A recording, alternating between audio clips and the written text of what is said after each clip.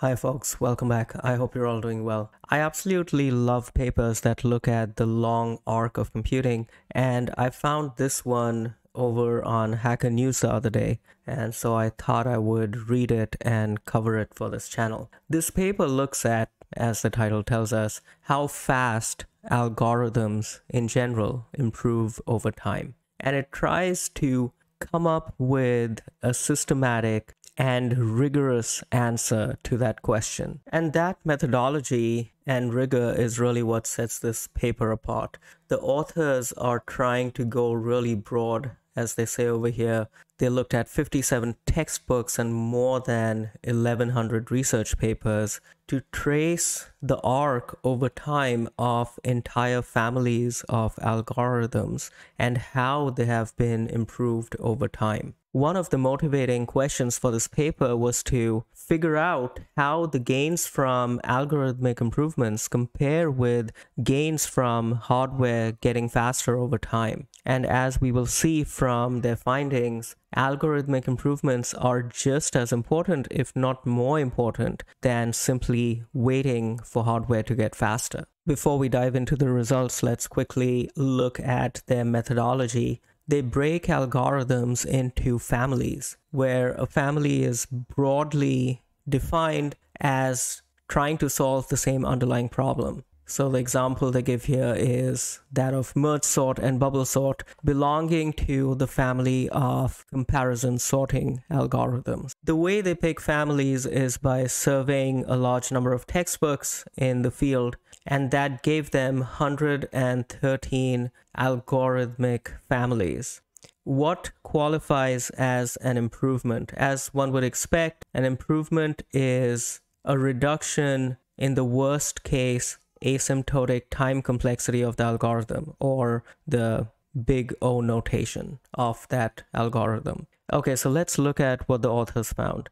This first graph, the one in red over here, simply shows the number of new algorithm families discovered in each of these decades. So this is simply scholars defining and describing a new problem along with an initial algorithm for solving it. This graph in blue right below it shows the number of improvements to algorithmic families in that decade. And as you can see, the 1970s somehow stands out. The authors do call this out because the 70s seem to be an outlier both in terms of the number of new algorithm families discovered as well as the families that were improved. They have a couple of hypotheses to explain that. One is that some of these algorithms were already optimal so they couldn't be improved anymore. Another one is that scholars found the low lying fruit and then further improvements became more and more difficult.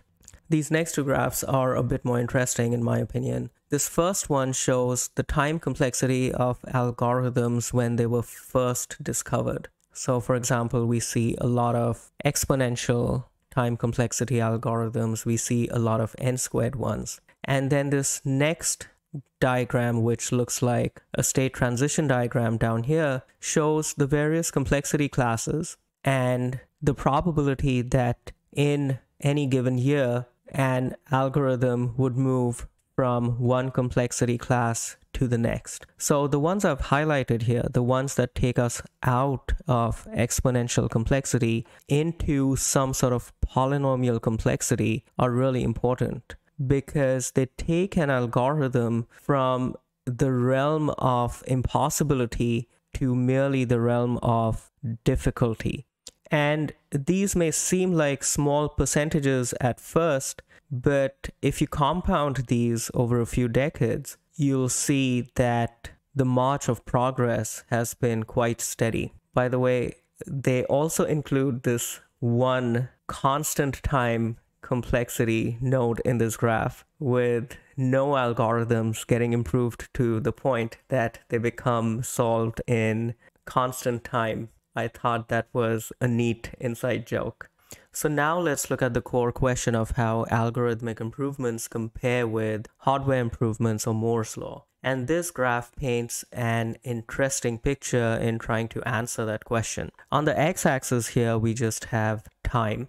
And on the y-axis, we have relative performance for these various algorithms that we're plotting lines for. And what we're plotting on the y-axis is for a problem of size 1 million, so n equals 1 million.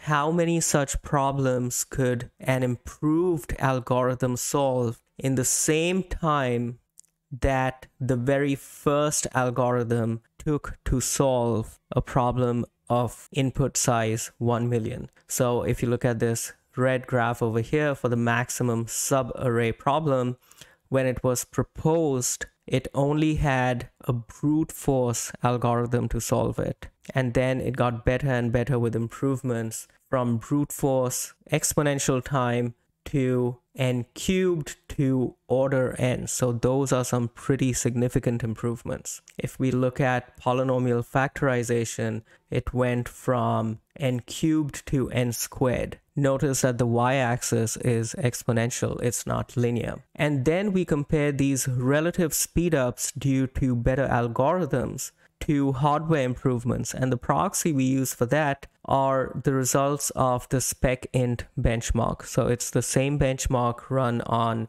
the same inputs and we see the improvement in those benchmark scores. Now, there are a couple of observations one can take away from this graph. One is that the improvements due to hardware tend to be quite predictable plotted on this exponential y-axis, they're almost linear, which is what Moore's law would predict.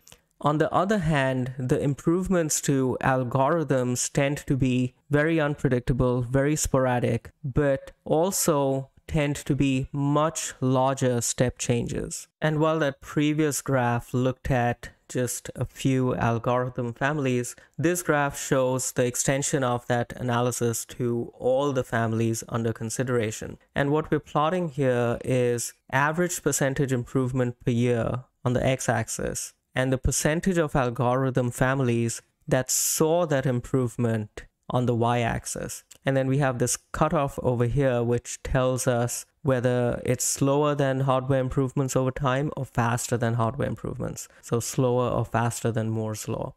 And we see almost a bimodal distribution in that there are a lot of algorithms on the left over here that are kind of static. They're not seeing too many improvements. So obviously they're improving slower than hardware.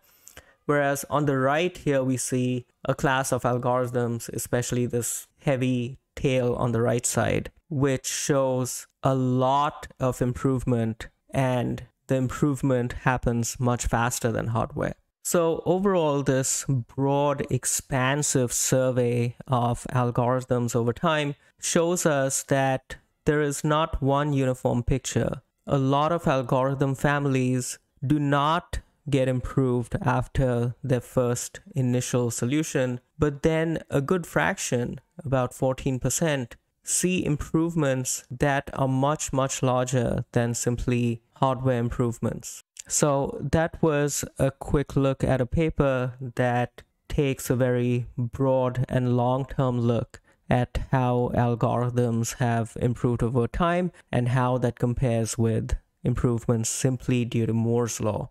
I hope you enjoyed that, and I will see you next time. Thank you very much.